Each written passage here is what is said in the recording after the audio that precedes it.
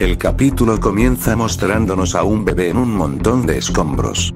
Un agujero de oscuridad aparece abajo de él y luego cambiamos de lugar para ver que Giles está arrastrando el cadáver de Kudles, que como recordarán Shebas le arrancó el corazón para alimentar la oscuridad. Giles por órdenes de Shebas dejaría su cuerpo en un lugar en específico luego aparecería una escena de un pecador intentando entrar a una casa pero es asesinado por una subjefe la cual no sé su nombre entraría a la casa junto a dos infectados donde estarían una pareja de ancianos volvemos con Kidles la cual usaría el líquido oscuro sus lágrimas y logra revivir entre comillas a Kudles gracias al líquido mencionado anteriormente en eso aparece Shevas luego de haber infectado a Splendid.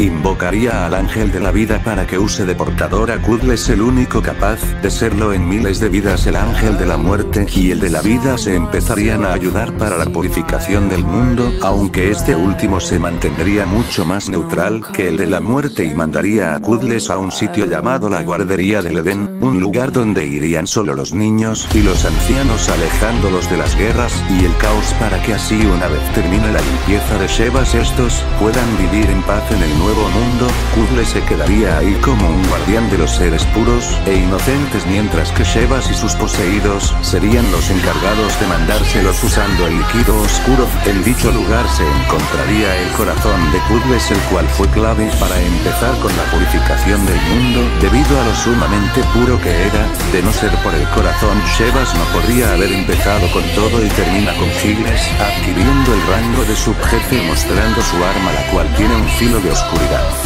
y tiene el poder de controlar las plantas o al menos por ahora esos son sus poderes.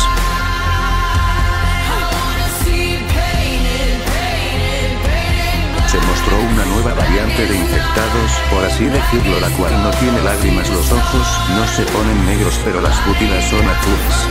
Esta variante es única de Kudles o al menos hasta la fecha. El clan del Revenant hace una breve aparición en el inicio en forma de una prenda tirada que posiblemente le perteneció a un miembro, los ancianos tienen un rol más importante porque son los protectores de los niños y bebés.